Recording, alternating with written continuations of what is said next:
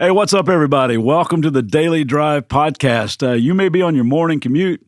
Uh, you might be getting ready for school or walking on a treadmill or bringing your day to a close, wherever you are and whatever you might be doing. Man, I'm so grateful that you would take a few minutes and just let God speak to you today because God longs to do life with you and me. And even though this podcast is just a you know little short burst of hope and truth, His presence is with us 24 7. And I found that living in the awareness of His presence is a game changer in everybody's life. Uh, we are diving into a little letter that's tucked toward the back of the Bible called Colossians. Uh, it's all about, to borrow a much overused phrase, it's all about living a new normal. It, it's a letter about living this brand new life of following Jesus. It was written by a guy named Paul to a church that was really making a difference in their small uh, in their small city and around the world. So he writes this letter to encourage them and inspire them, and also to give them some practical instruction and to assure them that their new life in Jesus was resting on an unshakable foundation. Now, we're still in chapter one, and we're unpacking just five characteristics that mark this special group of people and ought to mark every other difference making church. We saw yesterday how living a distinctive, set apart kind of lifestyle ought to mark everyone who follows Jesus. There just ought to be something that's so distinctively kind and distinctively humble and grateful and joyful about us that makes people say, I want whatever it is that they have.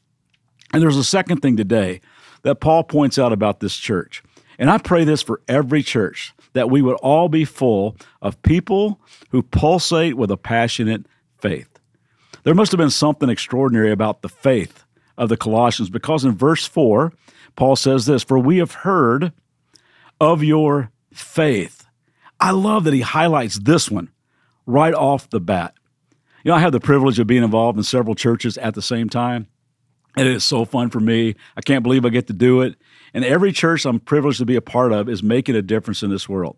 So sometimes I get asked by other pastors, so, hey, bro, uh, that's my name, by the way, um, what, do, what do you believe is the biggest factor contributing to what's happening in those churches? And I tell them, well, quite honestly, I believe it's because God is moving in the hearts of humble, faith filled people. And then they'll often come back and say, yeah, yeah, I, I hear that. But other than the God thing, what do you attribute as the cause of growth? And then it becomes pretty clear to me that what they're looking for is some like fast track to growth. Like, what do you see the latest thing that's working out there? And I really do understand the importance of strategic planning and thinking, but make no mistake about it. Dynamic churches, life giving, spirit empowered, difference making churches are always loaded with fully surrendered people who possess a passionate faith. It's always the Spirit of God moving in the lives of people who walk by faith. Now, again, I'm certainly not saying that strategic planning and such isn't important. But I'm telling you, I'd much rather talk about those who volunteer hours upon hours of time to make ministries go, simply because they just love Jesus. I'd much rather tell somebody about a person who took their vacation savings and made a couple of house payments for a friend that was in trouble. I'd much rather talk about a guy who was recently released from the bondage of alcoholism as a bunch of fellow strugglers surrounded him and walked with him. I'd love to talk about the passionate faith that is stirring in the hearts of amazing high school students who are living beyond themselves at school and with their friends. I'd much rather talk about people who are taking risk to serve the poor and share a cup of cold, cup of cold water in Jesus' name all around the world. It's always about the hand of God moving through passionate, faith filled people. You know, if I could just sit down with you like face to face over a piece of pie, uh, key lime, by the way, is my favorite. Uh, there's something I, I would want you to know about me. I love Jesus Christ. I'm passionate about him. I've loved him since I was 17 years old when the truth that God loved me first revolutionized my life. But I'm telling you, as the pounds pack on and the hairs fall out, he means more and more to me every single day. I have learned that he's trustworthy every time. I've learned that his grace not only forgives, but it cleans up dirty hearts and dirty minds. I've learned that living with gratitude and walking and talking with him through the day gives a brand new dimension of peace and power to my life. I'm learning what really matters in life and what doesn't matter. And I just want to be counted as one of those people who totally trust the one who gave his life for me and now lives with a passionate faith. Look at verse 4 again. He says, Not only have we heard about your faith, but we have heard of your love for all of God's people. You see, difference making churches are also full of people who extend an inclusive love. Now, when I read that, I picture this a church here in Colossae with their doors and arms open wide. I picture a church with its arms around each other, whether rich or poor, wounded or healed, hurting or whole, a, a community of grace where, like your skin color, your ethnicity, your background, your social status, your looks, your IQ, your past failures or successes didn't matter. Embracing everybody like Jesus did. That was their new normal. When it came to love, Paul says, You guys are the real deal. Verse 8, he says, you, He has told us about the love for others that the Holy Spirit has given you. He's telling them, Listen, y'all have a reputation. You're becoming known for loving other people with the same inclusive, unconditional love with which God has loved you. He put that love in you. And now it is so stinking cool the way it's flowing out of you to other people. You know, the early Christians were known for that. The most common thing said about them was this these people love everybody.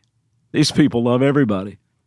I know some of you have probably seen or heard this, but I think it's so appropriate for the times we're living in right now. This is an investigative report that a second century historian named Aristides sent to the Roman emperor about these Jesus followers, the ones the Romans nicknamed Christians or little Christ. This is what he this is what he reported back. They do not keep for themselves the good entrust, goods entrusted to them. They do not covet what belongs to others. They show love to their neighbors. They do not do to another what they would not have done to themselves. They speak gently to those who oppress them, and in this way they make them their friends. It has become their passion to do good to their enemies. They live in, I love this, they live in the awareness of their smallness. Every one of them who has anything gives ungrudgingly to the one who has nothing. If they see a traveling stranger, they bring him in under their roof. They rejoice over him as over a real brother, for they don't call one another brothers after the flesh, but they know they're brothers in God. If they hear that one of them is imprisoned or, imp- or oppressed for the sake of Christ, they take care of all of his needs. If anyone among them is poor or comes into want while they themselves have nothing to spare, they will fast two or three days for him. In this way, they can supply any poor man with the food that he needs. This, O emperor, is the rule of life of these Christians, and this is their manner of life. Let me ask you, wouldn't it be great to be said of us?